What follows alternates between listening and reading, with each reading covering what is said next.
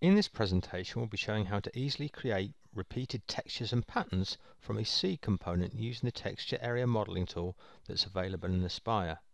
Similar to what you see on the screen, we'll be able to take a small seed component, such as these smooth stones that you see on the screen, to then scale up to create a large texture or pattern.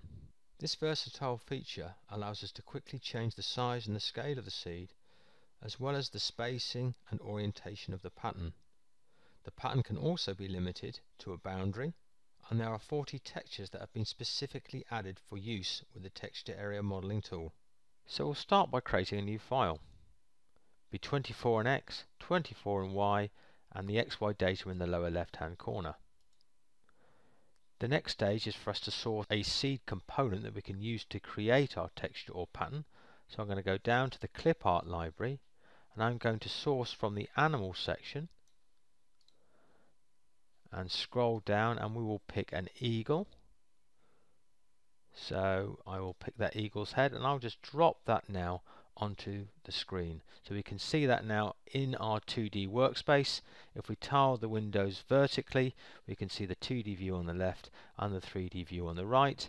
And if I have a look at the modeling tab we can see that we have added a component into level 1 with the name eagle head I can now select that item from the component tree or from the 2D or 3D view, come up to the texture area component tool, and I'm immediately, before I explain any of the parameters, I'm just going to apply that now.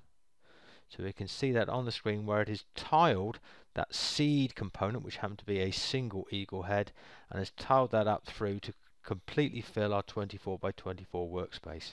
Okay, so now let's start taking a look at some of the options that are available through the form. We'll start at the top with the transform object which is currently selected and here you can see the pattern itself is instrumented so I'm able to um, grab the instrumentation and change the size of the area being textured. You can see that it's simply trimmed the pattern back to the new boundary. I can move it in from the side of the screen as well. I can then obviously grab the corner to scale that up and we have simply trimmed that object. I can also move it so I can move the area that is currently being textured. The next option is to edit the texture area component itself. So I'm going to simply select that now and we can see that it's highlighted that seed component and I can change the scale which will in turn change the applied pattern and I can actually move that on the screen and that too will change and as I move that around so the actual effect, the scale is the same, but obviously the positioning of the items has changed. Now I'm going to close out of the form and we'll come back and look at the modeling tree and you can see the original seed component still remains but has been grayed out. So let's switch off the pattern and switch back on and you can see the eagle head is still there and if I come back in now and reselect the pattern and I can come back up to the texture area modeling tool and I'm able to make further modifications. So until that texture is baked, I'm able to come back to the form and make further modifications.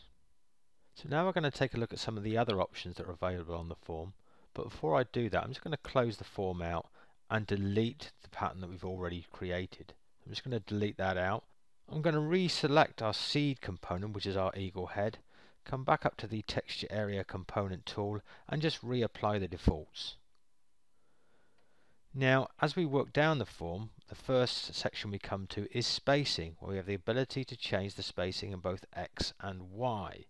So if we can imagine a border box that around each of the eagle heads, in other words, a square border box, we'll then be applying a spacing as a percentage of that border box. So if I apply just to say a 10%, I can now just hit space and that will update. You can see that we've shifted all the items to leave a spacing of 10% in between. And if I scale that up to 25%, you can see that's increasing. Similarly, I can do that with a slider.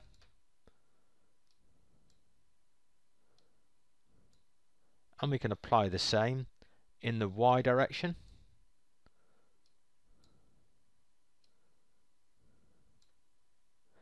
I'm just going to reset those back to zero now before we then move down to look at the XY shift. Now this works at looking at um, every other row or every other column. So in this particular case, we're going to be looking at a shift across in X of every other row. So as I increase this now, you'll see the effect. you can see the every other row is being moved across whilst the other one stays in its current position. I'm just going to reset that back to zero and we'll have a look at the Y shift. So similarly, I'm just going to use this, the uh, slider and you can see that every other column is being moved up by a percentage of the size of the border box that, that is the perimeter around the actual seed component. So I'm just going to set that back to zero now. Before we take a look at any further options, let's see how we can use spacing and shifting together to create a cool pattern. So here I'm going to apply 50% spacing in every other column, so every other column will be moved up by 50% of its bounding box. And we're going to combine that with some spacing. So we're going to use a negative spacing in X to get a little bit of overlap in X, and use similarly some negative spacing in Y. And immediately you can see on the right hand side that we've got quite a neat pattern generated by the combination of using the shifting and spacing together. Okay, so I'm now going to reset the parameters back to zero. and we'll get back to the state that we started with. We're now going to go down and look at reflections and as you can see we're looking really at how four of the donor or seed components work together and they're currently all orientated in the same direction but we quite can quite easily flip these. So really we're looking at sort of mirroring. So I'm just going to flip the two on the right hand side of the patch of four. So I can apply that now and that will turn the heads the other way. And now similarly I can take the top two and flip them round. So they're sort of interlocking there and apply the same to the bottom two and maybe even look to combine this with some shift and some spacing. So I'm going to apply a shift in Y so every other column by 10% which just obviously lifts that up. And now I'm going to move that across with a little bit of negative spacing in X. Let's say minus 20% and apply that. And as you can see there we've got a quite a neat effect by using the reflection options in combination with the spacing and shifting. Even after applying multiple modifications through spacing, shifting and reflection we can still come back up and modify the seed component itself. So from the top menu I'm going to select edit textured area component and you can see that the single seed component has now been highlighted and instrumented and I can move that around. I can now stretch that and it's going to replay all the parameters that are in the spacing, shifting and reflection based upon the change size and position of that seed component. So the next stage is to look at how we can create textures within border vectors. So I'm going to close out this form now and delete the two um, items from the component tree. So back to our blank workpiece. And I'm simply going to go into the 2D drawing menu and create a ellipse. I'm just going to wind that up, and just do it dynamically until I'm happy. Come back down to my clip art library now and pick out a new piece of clip art. So in this particular case I quite like the frog so I'm going to move that into the 2D view and as you can see is displayed in the 3D back to our modeling menu now and I can go straight back up to the texture area component tool and I'm going to shift and pick the border vector that I want to apply the texture within and just go straight to apply and we can see that that texture has been applied just within that border vector. Now I can still go in and edit the original seed component, which I'll do now, selecting the edit textured area component. In, in this case, the item um, is shown partly within the border vector and part out, but I can obviously, of course, move that, which will um, create a different pattern because I am actually changing the position of that seed component. But I can, of course, scale that now and change that. And if I want to move it so it's a bit more central for that center center frog then I'm happy there. Now similarly I can modify the whole object itself. So I'm going to go into transform object now and I can pick that and move it outside. But you can see it's got no relationship now between that and the vector itself. The vector was purely used at the start to limit the area onto which the texture is applied. Okay, so I can stretch that now and manipulate it, move it around, etc. But it's got no tie to the original vector. The vector just merely limited the original pattern that was created. Okay, so we've taken a look at a couple of examples using textures or seed components that maybe aren't the most typical. So now let's take a look at uh, some texturing using the specific texture area tiles that have been added to the software and there are 40 examples. So I'm just going to close this out now and delete the two components to bring us back to our blank page and remove the vector. And we're now going to move across and look under the clip art area and we can see there are texture area tiles which is not to be confused with the textures non-tileable below it and within that now we have 40 different examples of seed components that are ideally suited for use with this command.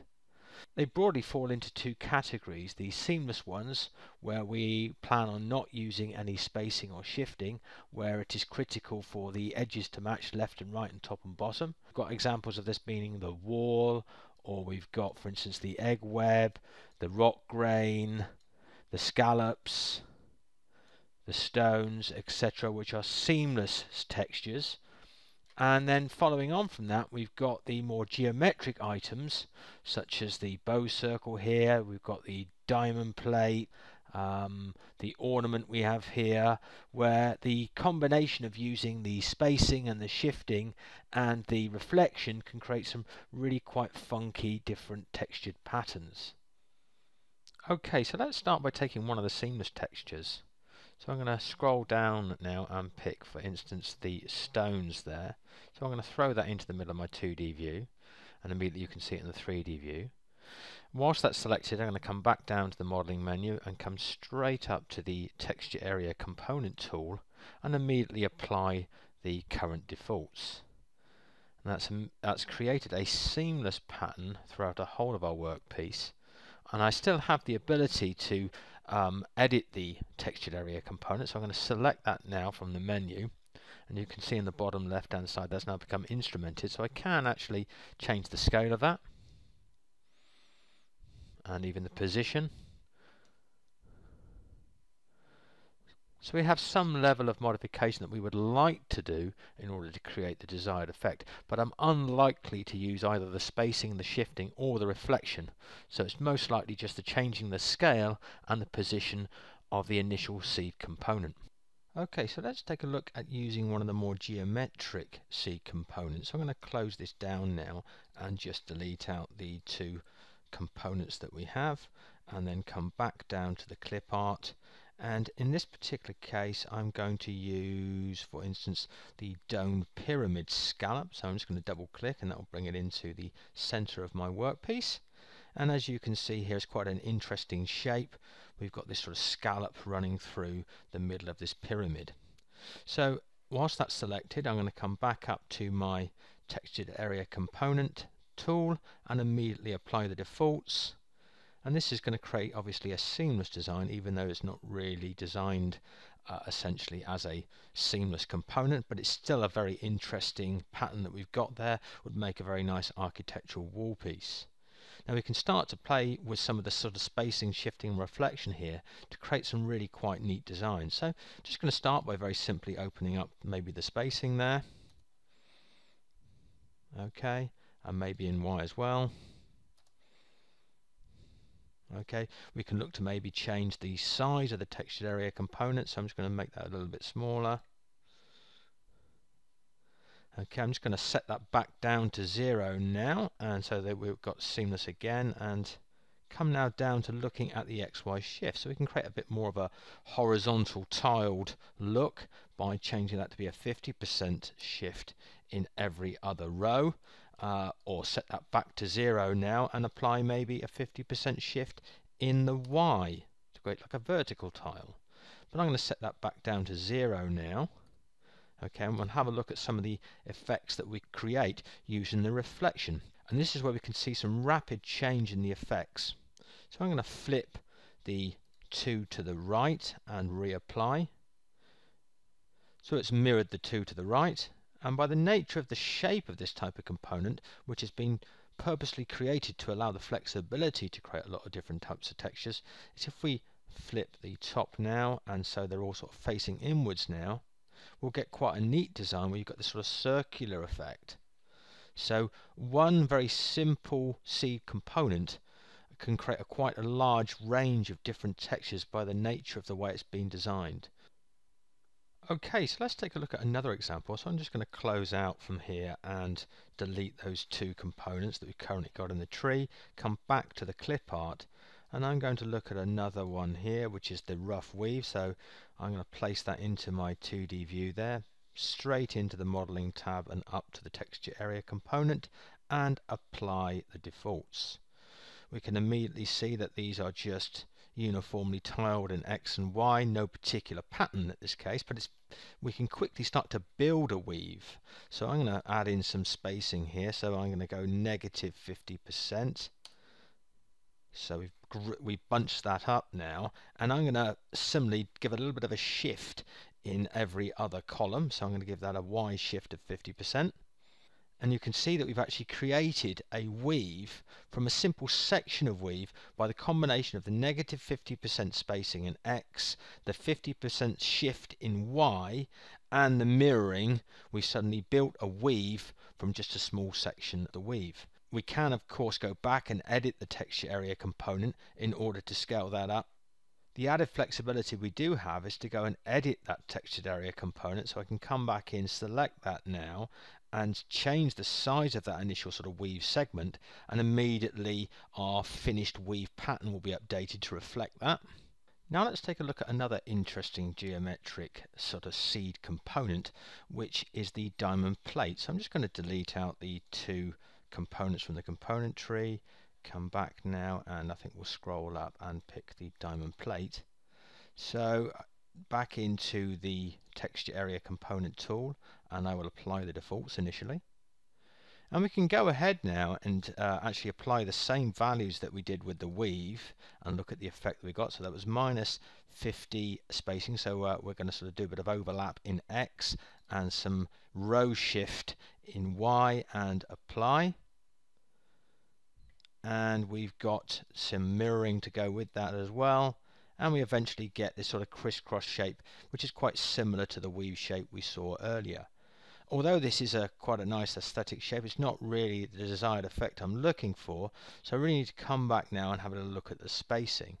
So we do still need spacing here, but I'm going to reduce that, or sorry, increase that from minus 50% to minus 33%. So minus 33.3 and similarly do a 33.3% so positive in Y and I apply that now and immediately you get this really nice sort of metal plate look that we've all seen in uh, industrial environments. Okay, we're going to finish by looking at two other key points when using the texture area guide, which is how to work when rotating textures and finally how to work with importing images that you might download off the internet etc. So I'm just going to close out this form now and delete these two components and go back to our clip art library. I'm going to scroll down and pick out the wave tile that we've got here. So I'm going to double click to bring it into, into the workspace and back down to the modeling and immediately come up and texture the full workpiece with that texture. So we can see there's quite a nice neat seamless wave pattern that we've got running across our workpiece. Now if you want to orientate the wave parallel to the x-axis rather than the y-axis, in other words rotate it through 90, you can't do that with the edit texture area component editing. You can only change the scale and the position. So in this case we have to close out of the form, come back down to the component itself, and then transform that component through these standard methods that we've got. So in this case I'm going to come back up to the rotate selected objects, I can pick that, rotate that through uh, 90 and apply and as you can see that now that is running parallel to the x-axis. Now alternatively I could actually have manipulate the original texture itself. So I'm just going to close out that form now and delete the texture area. So I'm going to delete out that component and we're going to come back to our original wave. Now, one thing to remember here is you, you cannot just take that and rotate that through 90 degrees, which I'm going to do now. So I'm just going to rotate that, and then I'll go to apply that texture, and apply, and all of a sudden it's not running parallel to the x-axis, it is still running parallel to the y-axis. That because it remembers that the, the original component has gone through a transformation and it still uses the original component, not the original component plus the transformation. So what I need to do is if I delete out that what we just created, take that original item that we've rotated and actually bake that item. So, uh, so essentially, it's baking the rotation back into a single state. So I'm going to take that now and come back up to the texture area component and reapply that texture and we now have it running parallel to the x-axis. So any rotation that you do apply, if you want to start with that, you need to bake the component before going to the texture area because it remembers the original component if you don't do that. Finally, let's take a look at how we can work with images that we may have downloaded. So I'm going to close out here and go up to File, New, and just create a new 24 by 24 workspace and I'm going to move back down to the modeling tab now and come up to the icon that says create a component from selected or imported bitmap I then can see that I've got a, a stone wall image that I want to read in and reverse engineer basically into a relief so I'm going to read that in. Immediately let's tile the window so we can see that 3D. So you can see the 2D stone wall on the left hand side and the representative sort of 3D wall in the 3D view. Now we can immediately see it's very very granular there and I, I could ideally need to apply some smoothing. Uh, before I do that I'm just going to change the scale because it's the scale is a little bit out of proportion for the size of my workpiece and I'm now going to move back up and apply the smoothing before I actually go ahead and do the tile. So I'm just going to leave it fairly crude smoothing okay and I'm going to OK that now and come up to so I'm going to need to select the uh, seed component back up to the texture area tool and apply that throughout the workpiece.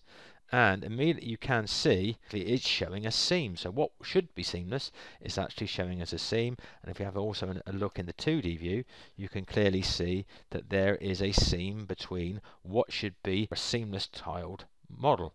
And that's because we've actually smoothed the edges, which has changed that ability for one tile to butt up against another.